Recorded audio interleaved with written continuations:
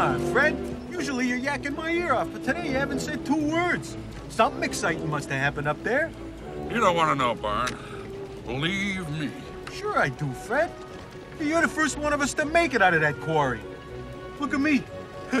I'll probably be working there for the rest of my life. No, you won't, Barn. Take my word for it. Come on and take a look at it. It's a dish. It's in the shower. You keep the soap right in it. Hey, listen, Barney, there's something we got to talk about. Yeah, yeah, later, Fred.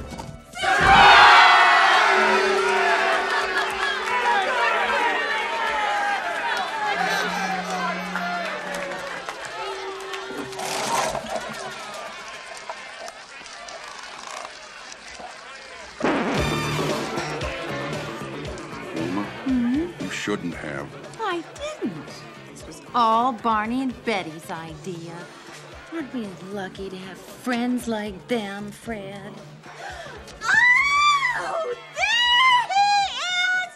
There's my big, handsome son-in-law. have you lost weight? Have we met? Can I have everybody's attention, please? I got a little something I'd like to say. I hope it's not another poem. Fred, Betty Bamm-Bamm and I could not be happier, even if it was me that got that job. Mm-hmm. So we got you a little something just to show you how proud of you we are. Congratulations, big guy. Oh. Barney, I can't accept this. Sure you can. No, I can't take it back. Well, we can't, Fred. We had your initials branded on it. Yeah, it's yours, Fred. No, it's not. Fred, what's wrong with you? It's a lovely gift, and he is thrilled to receive it. Aren't you, Fred? No, Don't you like the color? it's not the briefcase. It's not the color. I just can't take anything from you. But Fred, Take a hike, Shorty. My Freddie doesn't want that turkey thing. how come, Fred? Because you can't afford it, Barn. Sure I can, pal. Not anymore.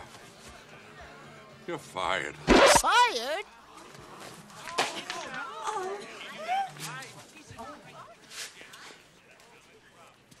Oh. Well, let's not let a little thing like this spoil the party. Conga line.